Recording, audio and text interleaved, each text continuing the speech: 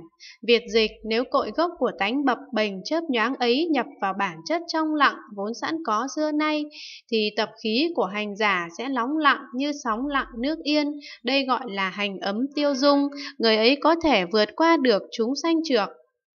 Quán xét nguyên do cội gốc của hành ấm chính là u uẩn vọng tưởng.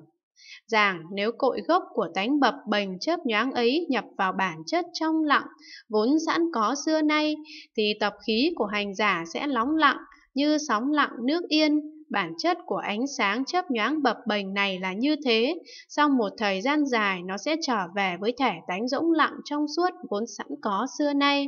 Một khi nó đã lắng xuống và trở nên trong trẻo, thì bản tánh thanh tịnh hiển bày.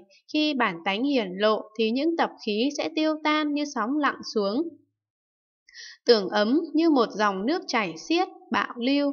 Trong kinh văn ở đoạn trước đã có sự so sánh ấy rồi.